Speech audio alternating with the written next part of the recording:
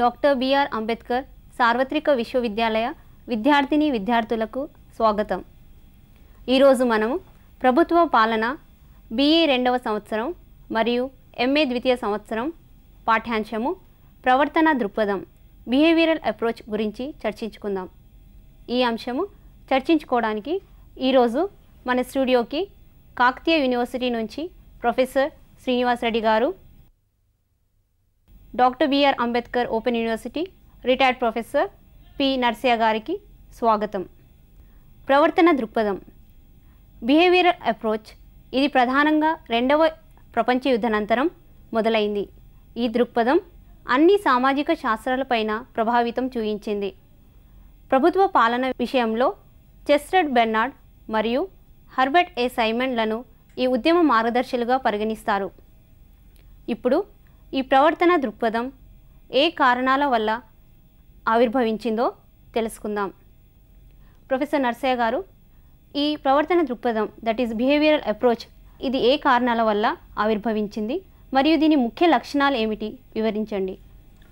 పల్లవి గారు వ్యవస్థ నిర్వహణలో మనం ముఖ్యంగా మూడు అంశాల గురించి చెప్పుకుంటాం. ధనము సిబ్బంది వస్తువులు అని చెప్పేసి. ఈ మధ్య మనం టైం కూడా ఓ ఫోర్త్ ఫ్యాక్టర్గా చెప్పుకుంటున్నాం.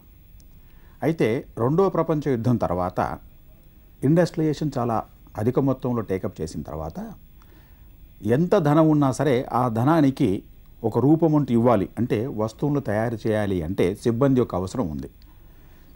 సిబ్బంది సరిగ్గా పనిచేసినట్టు అయితే పెట్టిన పెట్టుబడికి లాభాలు వస్తాయి. అది లాభార్జన ఆర్జించే యుగం ఆ పీరియడ్. సిబ్బంది చేత పని చేయించాలి అంటే జీతం ఇస్తేనే సిబ్బంది పని చేస్తారనేది ఒకప్పటి భావన. దాన్ని మనము మెకానిస్టిక్ అప్రోచ్ అన్నాం. లేక స్ట్రక్చరల్ అప్రోచ్ అన్నాం. అంటే మనిషి జీతం కోసమే బతుకుతున్నాడు జీతభత్యాల కోసమే బతుకుతున్నాడు అని భావించిన సిద్ధాంతాన్ని మనము క్లాసికల్ అప్రోచ్ అంటున్నాం మెకానిస్టిక్ అప్రోచ్ అంటున్నాం.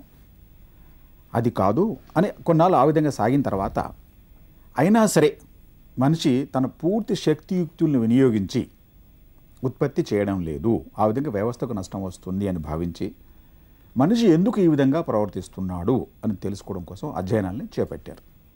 అయితే ఇది ట్రెడిషనల్ అప్రోచ్కి వ్యతిరేకంగా అని అంటారండి? అంటే వ్యతిరేకంగానో జస్ట్ మీకు చెప్తున్నా అసలు ఏ విధంగా డెవలప్ అయింది. అయితే ఎంత ఇచ్చినా అంటే డబ్బు కోసమే పనిచేస్తా మనిషి ఎకనామిక్ మ్యాన్ అనుకున్నట్టు అయితే అది కాన్సెప్ట్ డబ్బు కోసమే పనిచేస్తా అనుకున్న మనిషి డబ్బు ఇచ్చినా పని చేయడం లేదు అంటే ఇంకేదో అతను చూస్తున్నాడు. అతను ఇంకేదో కావాలి. అని భావించడం వాళ్ళు ఏం చేశారంటే పరస్పర సంబంధాలు ఏర్పాటు చేసినట్టు అవుతే. అంటే డబ్బు కోసం పనిచేసినప్పుడు టైమ్ ఈజ్ మనీ అనేది కాన్సెప్ట్. డబ్బు ఇస్తున్నావు ఒక నిమిషం కూడా వేస్ట్ చేయడానికి వీల్లేదు అని మేనేజ్మెంట్ కర్ర పట్టుకుని వెనక తిరిగి అంటే క్లోజ్ సూపర్విజన్ ఉండేది మన భాషలో చెప్పుకోవాలంటే. అతను పని చేయడం కాబట్టి ఏం చేశారు తర్వాత పరిశోధకులు ఇతన్ని పని చేయకపోవడం కారణం ఏమిటి అని పరిశోధన చేసిన తర్వాత పరస్పరం మాట్లాడుకునే అవకాశం కల్పించినట్టు అవుతే ఇంటర్వెల్లను మిగతా వేళలో అతనికి కొంచెం ఆ వెంటిలేషన్ తెరపండి ఉంటుంటుంది. తన కష్ట సుఖాలు చెప్పుకోవచ్చు. కొంత రిలీఫ్ అతనికి వస్తుందని భావించి ఆ విధంగా స్టడీస్ కండక్ట్ చేశారు. మనం వాటిని ఏమన్నాము హ్యూమన్ రిలేషన్స్ అప్రోచ్ అన్నాం. క్లాసికల్ అప్రోచ్ దానికి తర్వాత డెవలప్మెంట్ హ్యూమన్ రిలేషన్స్ అప్రోచ్ అని తీసుకున్నాం. అంటే పరస్పరం మాట్లాడుకునే అవకాశం కల్పించాం. దీన్ని మనం ఇన్ఫార్మల్ రిలేషన్షిప్ కూడా అన్నాం. Formal and informal. దీంతో కొంత మెరుగు కనిపించింది. ఉత్పత్తి పెరగడం జరిగింది. తో వ్యవస్థ అధిపతులకి ఈ పెట్టుబడిదారి వ్యవస్థకి కొంచెం లాభం కనిపించింది. అయినా సరే ఆశించిన మేరకు ఉత్పత్తి రావడంలే. అప్పుడు అనుకుంది ఏంటంటే మనిషి అంటే ఏంటి? స్ట్రక్చర్ గురించి మాట్లాడుకున్నాం మనం. స్ట్రక్చర్ లోపల పనిచేసే మనిషి గురించి మాట్లాడుకున్నాం. ఈ పరస్పర సంబంధాలు. కానీ మనిషిలో ఇంకేదో దాగి ఉన్నది. అంటే ఈ పరిశోధన నిరంతరం సాగుతూనే ఉందన్నమాట. సో మనిషి మానవ సంబంధం తర్వాత ప్రవర్తన. పని చేయడము చేయకపోవడం అనేది ఒక ప్రవర్తన. ఇస్ ద బిహేవియర్ ఇతని బిహేవియర్ను ఎలా అర్థం చేసుకోవడము అని ఒక ఆలోచన బయలుదేరింది. అది అర్థం చేసుకోవడానికి చేసిన ప్రయత్నంలో భాగమే మనం ఈనాడు చర్చకు చేపట్టిన బిహేవియరల్ అప్రోచ్ లేక ప్రవర్తన దృక్పథం. ప్రవర్తన దృక్పథంలో ముఖ్యంగా చెస్టర్ బెర్నార్డ్ మరియు సైమన్ వారి పాత్ర ముఖ్యంగా కనిపిస్తుంది.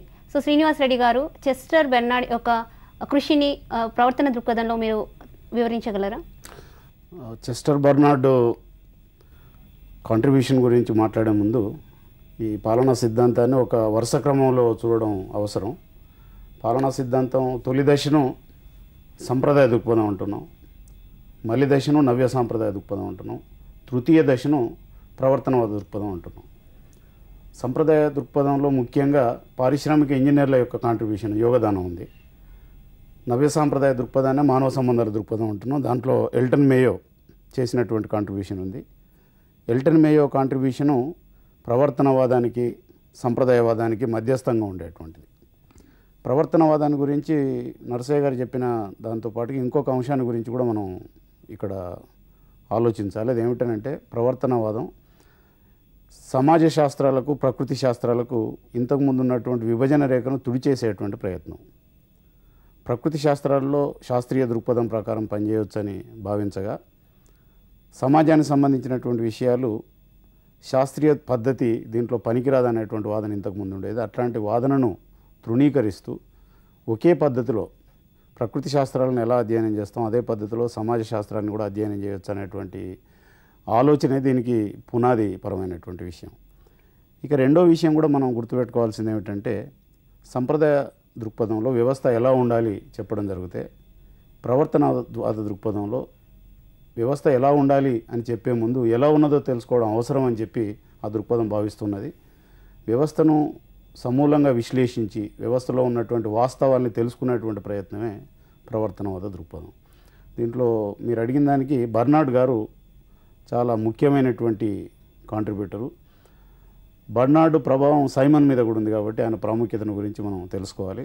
ఆయన చెప్పిన సిద్ధాంతంలో చాలా ముఖ్యమైనటువంటి అంశం అధికారానికి ఒక నూతన నిర్వచనాన్ని ఆయన ఇచ్చాడు. ఇంతకుముందు అధికారం అనేటువంటిది ఉన్నత స్థాయిలో ఉంటుందని భావించగా అధికారం క్రింది స్థాయిలో ఉంటుందని అధికారం అనేటువంటిది ఆజ్ఞలో కాకుండా ఆజ్ఞను స్వీకరించడంలో ఉంటుందనేటువంటి చాలా కొత్త విషయాన్ని బర్నాడు చెప్పడం జరిగింది. అదేవిధంగా బర్నాడు వ్యవస్థను ఒక సహకార సమాఖ్యగా వర్ణించాడు. అంటే ఒక వ్యవస్థ విజయానికి సహకారం చాలా ముఖ్యం అని చెప్పాడు. అధికారం కాదు సహకారం ముఖ్యం అని చెప్పాడు. అయితే వ్యవస్థలో కమ్యూనికేషన్ యొక్క ప్రాధాన్యతను గురించి ప్రసారాల యొక్క ప్రాధాన్యతను గురించి చాలా చెప్పారు. వ్యవస్థలో ఒక వ్యవస్థాపకుని యొక్క విజయం కానీ ఒక పాలకుని యొక్క విజయం కానీ నిర్వాహకుని యొక్క విజయం కానీ తనకున్నటువంటి కమ్యూనికేషన్ ఎబిలిటీని బట్టి ఆధారపడుతుందని చెప్పాడు. ఈ కమ్యూనికేషను ఒక మేనేజర్ ఇచ్చినప్పుడు అడ్మినిస్ట్రేటర్ ఇచ్చినప్పుడు క్రింది వాళ్ళు దాన్ని ఆచరించడం ఆచరించకపోవడం పాటించడం పాటించకపోవడం అనేటువంటిది కొన్ని విషయాల మీద ఆధారపడి ఉంటుందని. కమ్యూనికేషన్ స్పష్టంగా ఉండడం ఆ కమ్యూనికేషన్ను ఆచరించేటువంటి శక్తియుక్తులు వ్యక్తిగా ఉండడం వ్యక్తికి ఉండడం ఆ కమ్యూనికేషన్ మూలంగా తన వ్యక్తిగత ప్రయోజనాలు దెబ్బతినకపోవడం ఇట్లాంటి వాటిని పరిగణనలోకి తీసుకొని కమ్యూనికేషన్స్ ఇవ్వాలని చెప్పి ఆయన చెప్పాడు. అదేవిధంగా వ్యవస్థకు కొన్ని పరిమితులు ఉన్నాయనే విషయాన్ని గురించి కూడా బర్నాడ్ చెప్పడం జరిగింది. దీంట్లో సోషల్ లిమిటేషన్స్ సామాజికమైనటువంటి పరిమితులు మనస్తత్వానికి సంబంధించినటువంటి పరిమితులు తర్వాత జీవిక సామాజిక భౌగోళిక రకరకాలైనటువంటి పరిమితులకు లోబడి వ్యవస్థ పనిచేస్తుందని పాలనా వ్యవస్థను అర్థం చేసుకునటానికి ఒక వాస్తవ వాస్తవిక దృక్పథాన్ని చూపెట్టినటువంటి వ్యక్తి బర్నాడు. బర్నాడ్ చెప్పినటువంటి ఇంకొక భావన గురించి కూడా ఇక్కడ తెలుసుకోవాలి. అదేమిటంటే ఆయన జోన్ ఆఫ్ ఇండిఫరెన్స్ అని అనాసక్తత పరిధి అని చెప్పాడు. ఒక సుపీరియర్ ఒక ఉన్నతాధికారి క్రింది వాళ్ళకి ఇచ్చినటువంటి ఆజ్ఞలు మూడు రకాలుగా ఉంటుంటాయని వాటిల్లో ఒక రకం ఇవ్వంగానే వాటిని తృణీకరించేటువంటి ఆజ్ఞలు. రెండవది స్వీకరించేటువంటి ఆజ్ఞలు. కొన్ని స్వీకరించాలన్నా తృణీకరించాలన్నా ఆలోచించేటువంటి ఆర్డర్స్. అనాసక్తత పరిధి అంటే ఏ ఆర్డర్స్ అయితే ఎట్లాంటి ఉత్తర్వులు అయితే అనాలోచితంగా యథాలాపంగా సబార్డినేట్ పాటిస్తాడో అట్లాంటి వాటితో కూడినటువంటిదే అనాసక్తత పరిధి అని. అనాసక్తత పరిధి విస్తృతంగా ఉన్నప్పుడు పాలనాధికారి యొక్క అధికారం సాగుతుందని వ్యవస్థ ఆదర్శ ఇచ్చినటువంటి ఆర్డర్లకు ఉత్తర్వుల ప్రకారంగా వ్యవస్థ మలుచుకోబడుతుందని చెప్పి బర్నాడ్ చెప్పాడు. శ్రీనివాను ఇక్కడ మీరు అన్నది ఏంటంటే బెర్నాడు వ్యవస్థ ఒక సహకార వ్యవస్థ అన్నాడు. సహకారం అనే మాటలోనే ఇచ్చిపుచ్చుకోవడం అన్నమాట ఉంది. అంటే classical అప్రోచ్లో orders are given to obey అని చెప్పి. అంటే superiors give orders and subordinates obey అని. అతను అసలు దాన్ని అసలు ప్రశ్నించాడు. ఏమన్నాడు? సుపీరియర్స్ ఆర్డర్స్ ఇవ్వడం ఏంటి? సబార్డినేట్స్ పాటించడం ఏంటి? అది జరగదు అన్నాడు. ఈ సహకార సంస్థ అంటే పరస్పరం ఇచ్చిపుచ్చుకునే వ్యవస్థ అని చెప్పేసి. అంటే ఆర్డర్స్ ఇచ్చేవారు లేరు తీసుకునేవారు లేరు. ఇద్దరు కూడా ఒక వ్యవస్థ లక్ష్యానికి కట్టుబడి పనిచేస్తారు. ఇద్దరు కూడా లక్ష్యాలు సమానం కాబట్టి కామన్ కాబట్టి అక్కడ పరస్పరం లక్ష్య సాధనకు కృషి చేయాల్సి ఉంటుంది. సుపీరియర్స్ సబార్డినేట్స్ ఇద్దరు కూడా ఇద్దరిని కూడా వ్యవస్థ పోషిస్తుంది కాబట్టి వ్యవస్థ ప్రయోజనాలు ఇద్దరు కూడా కాపాడాలి అనే భావం ఉంది. సహకార వ్యవస్థ అన్నది కరెక్ట్ దాంతోపాటు ఇంకొక అంశం కూడా చెప్పాడు ఆయన సహకార వ్యవస్థ అనడానికి. కారణం ఏమిటనంటే ఏ వ్యక్తి అయినా అన్ని పనులు చేయడానికి తన శక్తి సరిపోదు. యా వ్యవస్థ ఉనికిలోకి రావడం రావడానికి ప్రధాన ఉద్దేశం ఏమిటంటే వ్యక్- వైయక్తికంగా వ్యక్తిగతంగా చేయలేని పనులను సమిష్టి కృషి ద్వారా చేయడం వలన వ్యవస్థ ఆవిర్భవిస్తుంది. కాబట్టి. వ్యక్తికి ఉన్నటువంటి అశక్తతలను అధిగమించడానికి వ్యవస్థ పనికొస్తుంది. అధిగమించాలంటే సహకారం ఉండాలని చెప్పాడు సహకార మార్గాలను గురించి కూడా చెప్పాడు. వాటిలలో కమ్యూనికేషన్ ఛానల్స్ ఎప్పటికీ ఉండాలని ఆమోదానికి గురయ్యేటువంటి ఆజ్ఞలే ఇవ్వాలి వ్యక్తుల అవసరాలను వ్యక్తిగత వైయక్తిక అవసరాలను వైయక్తిక వ్యత్యాసాలను గమనించాలని ఇట్లాంటి విషయాలను గురించి కూడా ఇంకోటి అంటే మీరే అన్నట్టుగా ఈ చర్చలో క్లాసికల్ అప్రోచ్లో పై అధికారులు కింది అధికారులకు ఇచ్చే వాటిని మనం ఆర్డర్స్ అన్నాం ఆజ్ఞలు అన్నాం. కానీ ఈ సైమన్ మన బెర్నాడు దాన్ని ఆజ్ఞ అనకుండా కమ్యూనికేషన్ అన్నాడు. ఒక సమాచారం ఇస్తున్నాం. ఈ పని మనం చేయాలి. బికాస్ వ్యవస్థ ఉంటుంది వ్యవస్థకు లక్ష్యాలు ఉంటాయి. ఆ లక్ష్యాలను మనం చిన్న చిన్న లక్ష్యాలుగా ఏర్పరిచి వా కింది ఉద్యోగులకు లేక ఉద్యోగులందరికీ కూడా వాళ్ళ వాళ్ళ శక్తి సామర్థ్యాలు దృష్టిలో పెట్టుకొని వాళ్ళకు అప్పగిస్తాం. సో అది కమ్యూనికేషన్ అన్నాడు కదా ఆర్డర్ అని లేదు. అంటే మాటలు కూడా చాలా జాగ్రత్తగా వాడారు వీళ్ళు. ఈ ప్రవర్తన అద్భుతంలో ఆర్డర్ బదులు కమ్యూనికేషన్ అన్నారు. అది తర్వాత మీరు అన్నట్టు ఇది చాలా ముఖ్యమైన పాయింటే దీంతో పాటుగా ఆయన వ్యవస్థలో ఉన్నతాధికారి అధీనుడు అనేటువంటి మాట కూడా మాట్లాడలేదు. Members of the organisation. వ్యవస్థలో సభ్యులు అని చెప్పాడు. అంటే సభ్యులు అంటే ఇద్దరు సమానం అనేటువంటి సహకార వ్యవస్థ అంటే అంతే కాబట్టి సభ్యులు మెంబర్స్ ఆఫ్ ఈ రకంగా వ్యవస్థను ప్ర- ప్రజాస్వామ్యబద్ధంగా వ్యవస్థను ఆలోచించే ప్రయత్నం అంటే మోడర్న్ దృక్పథంతో చూశాడు. అక్కడ ఒకటి ఇంకోటి ఏంటంటే అధికారం గురించి మాట్లాడుకున్నప్పుడు వ్యవస్థ అక్కడ అధికారం అంటూ ఎవరి చేతిలో ఉంది అని ప్రశ్నించాడు అతను. ఇచ్చేవాడి చేతిలో అధికారం ఉందా? దాన్ని పుచ్చుకునే వాడి చేతిలో అధికారం ఉందా? శ్రీనివాసరెడ్డి దాన్ని వివరించారు. ఇంకొంచెం నేను వివ- వివరిస్తున్నాను. ఆర్డర్స్ ఇచ్చే వ్యక్తి యొక్క ఆర్డర్స్ కింది ఉద్యోగి పాటించినట్టు అవుతే ఏమవుతుంది అని ప్రశ్న వేశాడు. పాటించినట్టు అవుతే పాటించినట్టు అవుతే ఆర్డర్ చెల్లదు. ఆర్డర్ చెల్లనట్టు అవుతే అప్పుడు ఇచ్చిన ఆర్డర్ యొక్క విలువ ఏముంటుంది? ఉండదు కాబట్టి ఇక్కడ అతని అధికారాన్ని ఏమన్నాడు? ఇది ఒక భ్రమ అన్నాడు. ఇది మిజ్జ అది. అథారిటీ ఫిక్షన్ ఇది. నేను అథారిటీ నేను ఆర్డర్స్ ఇస్తున్నాను సుపీరియర్ అనుకోవడము. నేను తీసుకుంటున్నా అని సబార్డినేట్ అనుకున్న నాళ్ళు ఆర్డర్ జరుగుతాయి అదర్వైజ్ ఆ ఇద్దరి మధ్య ఉండే ఫార్మల్ రిలేషన్షిప్ ఇన్ఫార్మల్ అయిపోతుంది అన్నాడు.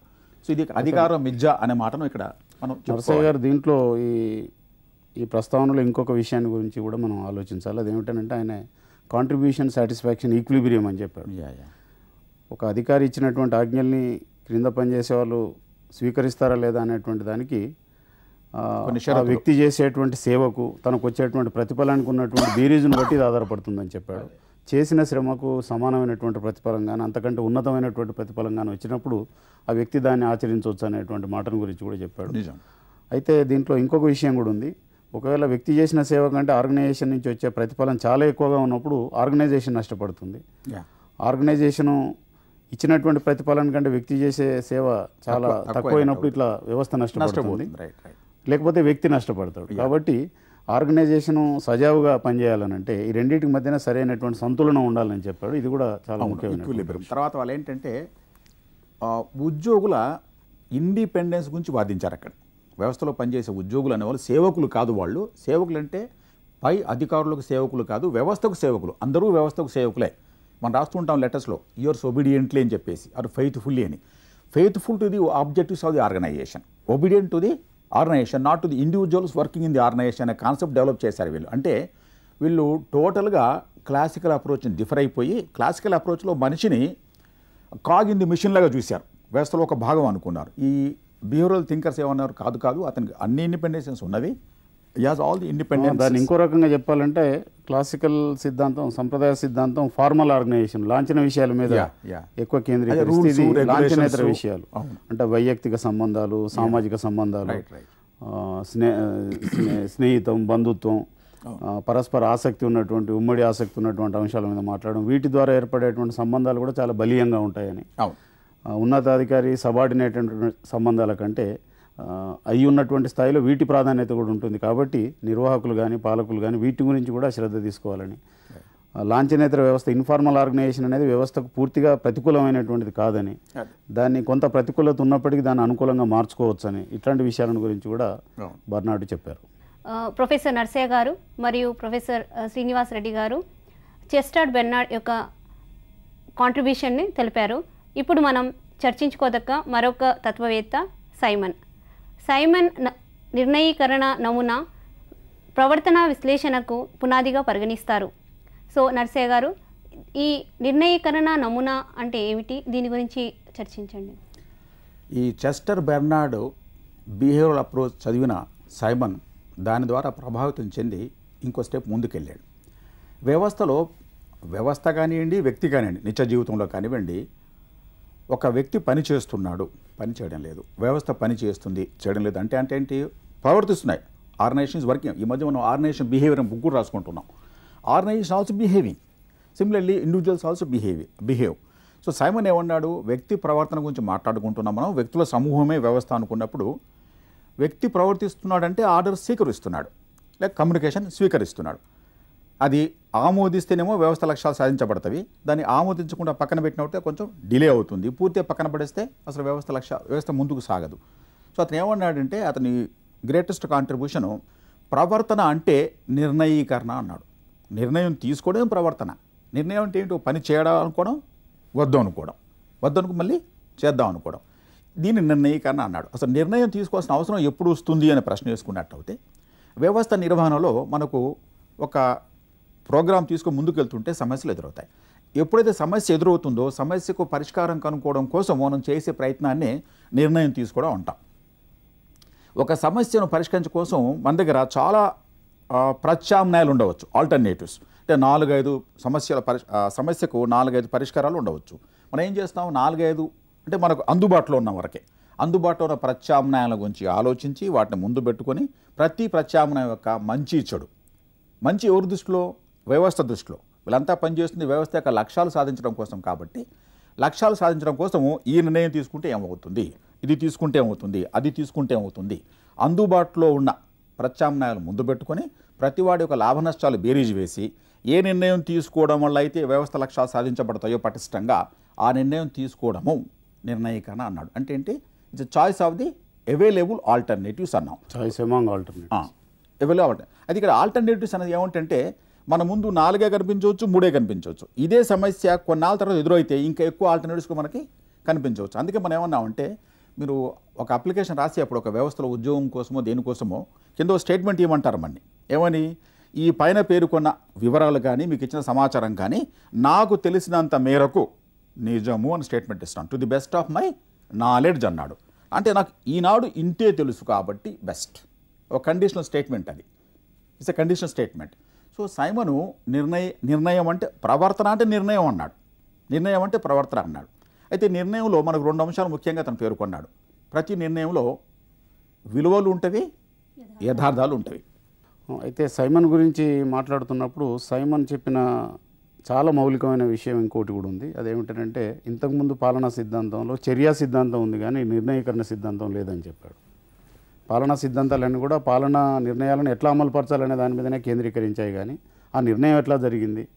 ఆ నిర్ణయం కథాకమ విషయం ఏమిటి అనేటువంటి విషయాల గురించినటువంటి ప్రస్తావన లేదని దీన్ని పూరించాలని పాలనకు నిర్ణయీకరణ అనేటువంటిది గుండెకాయ లాంటిదని చాలా కేంద్ర అంశం చెప్పి.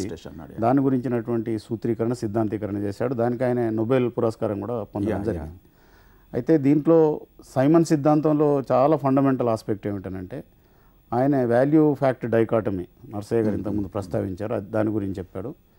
తర్వాత లాజికల్ పాజిటివిజం అనేటువంటి తాత్విక పునాది మీద ఈ సిద్ధాంతం ఆధారపడి ఉన్నది. లాజిక్ అంటే తర్కం పాజిటివిజం అంటే సాక్ష్యాధారవాదం. అంటే ఏ విషయం అయితే తార్కికంగా నిలుస్తుందో అట్లాంటి విషయం సత్యం. అదేవిధంగా ఏ విషయానికైతే సాక్ష్యాధారాలు ఉంటాయో వాటిని మాత్రమే మనం వాస్తవాలుగా స్వీకరించాలనేటువంటి ఒక ఆలోచన దీనికి పునాదిగా పనిచేసింది. ఈ ఆలోచన సైన్స్కు సామాజిక శాస్త్రాలకు మధ్యన ఉన్నటువంటి అగాధాన్ని తొలగించడానికి ప్రయత్నం చేసినటువంటి ఆలోచన. అయితే వాల్యూ ఫ్యాక్ట్ గురించి చెప్తే వాల్యూస్ అనేటువంటి విలువలు అనేటువంటివి వైయక్తికమైనటువంటివి. ఫ్యాక్ట్స్ అనేటువంటి వ్యక్తితో నిమిత్తం లేకుండా ఉండేటువంటివి. విలువలు అనేటువంటివి మనం ప్రూవ్ చేయడానికి రుజువు చేయడానికి అనుకూలమైనటువంటి అనుగుణ్యమైనటువంటివి కాదు. యథార్థాలు మాత్రం వాటిని ప్రూవ్ చేయొచ్చని. ఇట్లాంటి విశ్లేషణ చేశాడు. సైమన్ చెప్పిన విషయం ఏంటంటే ఏ మనిషి నిర్ణయాల వెనుకనైనా ఈ రెండు రకాలైనటువంటి ప్రాతిపదికలు ఉంటాయని విలువలు యథార్థాలు. అయితే యథార్థాల వరకు మనం యథార్థం అవునా కాదా అని తెలుసుకొని ఆ నిర్ణయం సబబా కాదా చెప్పవచ్చు కానీ విలువలకు సంబంధించినంత వరకు. విలువలు అంటే ఒక రకంగా చెప్పాలంటే ప్రిఫరెన్సెస్ అనుకోవచ్చు. వ్యక్తిగత ఇష్ట ఇష్టాలు. ఇష్ట ఇష్టాల మీద ఉంటాయి కాబట్టి దాంట్లో మంచి ఏమిటి చెడు ఏమిటో తేల్చి చెప్పడం కష్టం. అందుకొరకే నిర్ణయీకరణలో హేతుబద్ధత గురించి మాట్లాడుతూ ఆయన ఏమన్నాడంటే నూటికి నూరు పార్ల హేతుబద్ధత అసాధ్యం అని చెప్పాడు.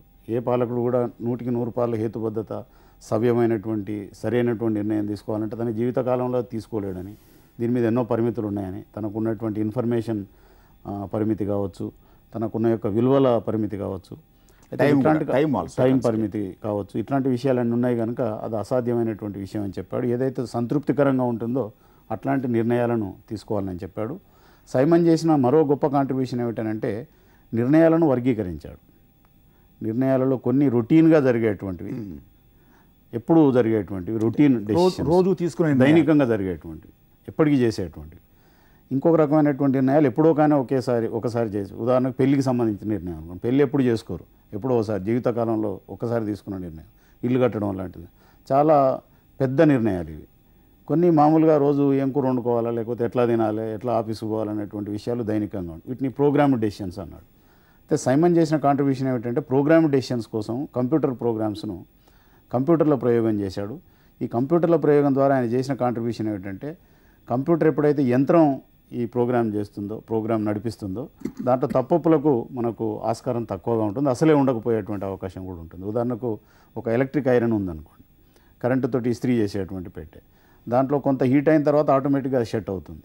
కానీ మనిషి ఆ పని చేయాలనంటే మనం మామూలుగా మెకానికల్ ఇస్త్రీ పెట్టెతోటి కానీ చేసినప్పుడు అది ఆ లెవెల్ దాటి హీట్ అవుతుండింది. చేసేటువంటి బట్టలు కూడా కాలిపోయేటువంటి ప్రమాదం ఉంటుంది. ఇట్లాంటి మానవ సహజమైనటువంటి కొన్ని పొరపాట్లు కానీ ఇట్లాంటివి జరగకుండా నిర్ణయాలు చాలా హేతుబద్ధంగా జరగడానికి తన వంతు కాంట్రిబ్యూషన్ ఆయన చేశాడు. కానీ మనిషి ఏ మేరకు అయితే ఇన్వాల్వ్ అవుతాడో మనిషి పాత్ర ఏ మేరకు ప్రమేయం ఏ మేరకు అయితే ఉంటుందో నిర్ణయాలలో అది నూటికి నూరు వల్ల హేతుబద్ధత అసాధ్యమని సైమన్ చెప్పాడు. ఇది చాలా ప్రముఖమైనటువంటి శ్రీనివాసరెడ్డి గారు మీరు దీన్ని కొనసాగిస్తాను నేను. కొనసాగింపు ఏంటంటే పల్లవి గారు హేతుబద్ధత పై స్థాయి ఉద్యోగులు తీసుకునే నిర్ణయాల్లో ఉంటుందా? కింది స్థాయిలో ఉన్న ఉద్యోగులు తీసుకునే నిర్ణయాల్లో ఉంటుందా? అనే ప్రశ్న వేశాడు. వ్యవస్థలో పనిచేసే హైరార్కీలో పనిచేసే ప్రతి వాళ్ళు నిర్ణయాలు తీసుకుంటారు. అయితే పై స్థాయి ఉద్యోగులు తీసుకునే నిర్ణయాలు పాలసీ నిర్ణయాలు అంటాం. వ్యవస్థను నడిపించడానికి అవసర నిర్ణయాలు. కింది స్థాయి ఉద్యోగులు తీసుకునే నిర్ణయాలు రొటీన్. శ్రీనివాసరెడ్డి గారు చెప్పినట్టుగా రోజు చేసే కార్యక్రమాలు అవి. రొటీన్ కాబట్టి వాటినేమో అదేమన్నాడు routine decisions are unstructured అన్నాడు అతను. ఒక స్ట్రక్చర్ ఉంది అక్కడ. ఉదయం రావాలి ఓ ఫైలు మూవ్ చేయాలి కింది ఉద్యోగి పై ఉద్యోగి ఈ విధంగా పోతూ ఉంటుంది. This is structure decision making అన్నాడు. అట్లా కాకుండా ఒక కొత్త సమస్య తలెత్తుతుంది. ఆ సమస్య మనం ఊహించలేకపోయాం. ఎందుకంటే మానవ ప్రవర్తన అన్ప్రిడిక్టబుల్ కాబట్టి కొత్త సమస్య వచ్చినప్పుడు తీసుకునే నిర్ణయం హై స్థా హయ్యర్ లెవెల్స్ తీసుకుంటారు లోవర్ లెవెల్స్ కాదు. అదే దాని ఏమన్నా అంటే అన్ప్రోగ్రామ్డ్ అని అర్థం. అన్స్ట్రక్చర్డ్ డెసిషన్ మేకింగ్ అన్నాడు. ఒకటి. ఇంకో అందుగురించి ప్రశ్న ఏంటి? పై స్థాయిలో తీసుకునే నిర్ణయాల్లో తీసుకునే నిర్ణయాలు నిత్యం తీసుకునే నిర్ణయాలా? ఇక కింది స్థాయి అంటే కింది స్థాయి రొటీన్ వర్క్ అవుతుంది. పై స్థాయివి అప్పుడప్పుడు తీసుకోబట్టి అక్కడ పై స్థాయిలో ఉన్న ఉద్యోగులు ఎక్కువ చదువు సంజయ్ ఉన్న వాళ్ళు ఉంటారు అనుభవంలో ఉంటారు. అందుకే అనుభవం ఎక్కువ ఉన్న వాళ్ళని పై స్థాయికి ప్రమోట్ చేస్తుంటాం మనం.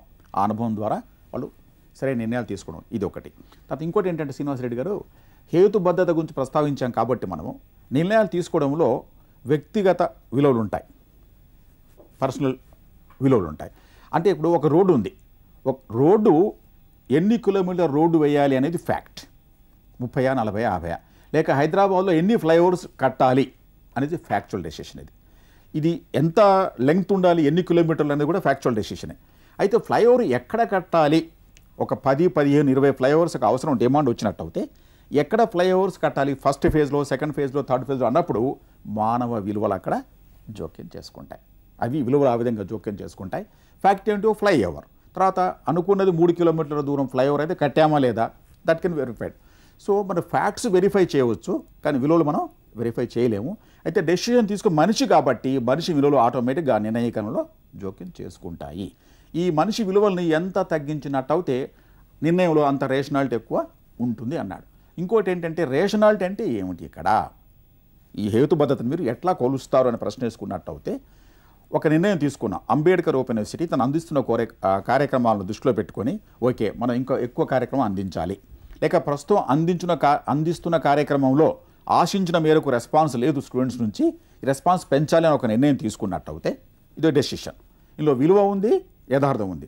డెసిషన్ తీసుకేమంటాం ఈ నిర్ణయం తీసుకోవడం వల్ల ఇంత స్ట్రెంత్ పెరిగే అవకాశం ఉంది అనుకున్నట్టు ఆ స్ట్రెంత్ పెరిగినట్టు అయితే మనం తీసుకున్న నిర్ణయంలో హేతుబద్ధత ఉన్నది. నిర్ణయం తీసుకున్నాము కానీ అనుకున్న మేరకు స్ట్రెంత్ పెరిగినట్టు అయితే అది థర్టీ పర్సెంట్ పెరిగి థర్టీ పర్సెంటే హేతుబద్ధత ఉంది అంటాం. అదే శ్రీనివాసరెడ్డి గారు అన్నారు. నిర్ణయంలో రేషనాలిటీ అంటే అది బౌండరీ రేషనాలిటీ అన్నాం. పరిమితులకు లోబడి తీసుకున్న నిర్ణయము. అంటే మనకు అందుబాటులో ఉన్న సమాచారం ప్రకారం తీసుకున్నాము. దానివల్ల అనుకున్న మేరకు లాభాలు సాధించినట్టు అయితే it is a rational decision లేక ఇక్కడ స్ట్రెంత్ పెరిగితే రేషనల్ డెసిషన్ లేక స్ట్రైక్ చేస్తున్నారు ఉద్యోగులు. వాళ్ళు పది కోరికలు కోరారు. అందులో మూడు నాలుగు తీర్చినట్టు అవుతే వాళ్ళు స్ట్రైక్ కాల్ ఆఫ్ చేసినట్టు అవుతే తీసుకున్న నిర్ణయం రేషనల్ సో ఇది రేషనాలిటీ అండ్ వాల్యూ డైకాటమీలో వాల్యూస్ అండ్ రేషనాలిటీలో మీరు డైకాటమీ గురించి చెప్పారు. ద్విభజన రెండు అంశాలకు వ్యత్యాసాన్ని చూపెట్టడం. సైమన్కు సంబంధించినంత వరకు వాల్యూ ఫ్యాక్ట్ డైకాటం అనేటువంటి చాలా వివాదాస్పదమైనటువంటి విషయం. సైమన్ చేసిన ప్రయత్నం ఏంటంటే విలువల్ని యథార్థాలను విడదీసే ప్రయత్నం చేశాడు. ఆయన ఒక పక్క ఒప్పుకున్నాడు కూడా. రెండింటికి విభజన రేఖ అస్పష్టం అని అన్నాడు. అయితే ఆయన చేసిన ప్రయత్నం ముఖ్యంగా ఫ్యాక్ట్ బేస్డ్ అడ్మినిస్ట్రేటివ్ థియరీ. యథార్థాల పునాదిగా నిర్మించినటువంటి పాలనా సిద్ధాంతాన్ని రూపొందించదలుచుకున్నాడు. కానీ విలువలు యథార్థాలను విభజన చేయడం అసలు సంపూర్ణంగా నూటికి నూరు వాళ్ళు సాధ్యం కానప్పుడు ఇది కూడా సాధ్యం అవుతుందా అనేటువంటిది పెద్ద విమర్శ ఉంది. తర్వాత ప్రవర్తనవాద సిద్ధాంతం మొత్తంగా చూసినప్పుడు ఇది మనకు రెండు రకాల దృక్పథాలు ఉంటాయి. విహంగ దృష్టి అని తర్వాత ఒక ఒక బర్డ్స్ ఐ వ్యూ తర్వాత వర్మ్స్ ఐ వ్యూ అని. అంటే చాలా చిన్న స్థాయి నుంచి చూడడం సూక్ష్మ స్థాయి నుంచి స్థూల స్థాయి నుంచి చూడడం. అయితే పాలనా సిద్ధాంతంలో సూక్ష్మ స్థాయి దృష్టి అనేటువంటిది ఈ సిద్ధాంతం ద్వారా లభిస్తున్నది. ఇంతకుముందు ఉన్నటువంటి సిద్ధాంతం వ్యవస్థను చాలా విస్తృతంగా చూసినటువంటి సిద్ధాంతం. దాంట్లో కూడా కొన్ని పరిమితులు ఉన్నాయి. స్ట్రక్చర్నే విస్తృతంగా చూశారు. ఇక్కడ ఇండివిజువల్ గురించి కూడా ఇక్కడ చూస్తున్నారు. ఇండివిజువల్ అంశాలు మానవ ప్రవర్తనకు సంబంధించినటువంటి అంశాలు వ్యక్తికి సంబంధించినటువంటి అంశాలను ఎక్కువగా చొంపించినటువంటి సిద్ధాంతం ప్రవర్తనవాద సిద్ధాంతం. ఈ సిద్ధాంతం కూడా సమగ్రం కాదు. దీనికి ముందు ఇంకా వ్యవస్థ పరిసరాల గురించినటువంటి ప్రవర్తన. అంతకుముందు పోస్ట్ బిహేవియరల్ థియరీస్ అని వచ్చినాయి. ప్రవర్తనవాద అనంతర సిద్ధాంతాలు వచ్చినాయి. వాటిలలో మన పాలనా పరిసర సంబంధ పర్యావరణ సిద్ధాంతం తులనాత్మక పాలనా సిద్ధాంతం అభివృద్ధి పాలనా సిద్ధాంతాలు తర్వాత నూతన ప్రభుత్వ పాలనా సిద్ధాంతాలు ఈ తర్వాత మార్కెట్ థియరీస్ ఇవన్నీ ఎన్నో వచ్చినాయి. దీంట్లో ఉన్నటువంటి అసమగ్రతకు ఈ సిద్ధాంతాలను కూడా మనం నిదర్శనాలుగా చెప్పవచ్చు. వీటిలో వీళ్ళు చెప్పనటువంటి అంశాలు ఎన్నో చెప్పారు. అట్లా పాలనా సిద్ధాంతం ఇంకా ముందుకు పోయింది. ఈరోజు మనం ప్రవర్తన దృక్పథంలో వివిధ అంశాలని చర్చించాము.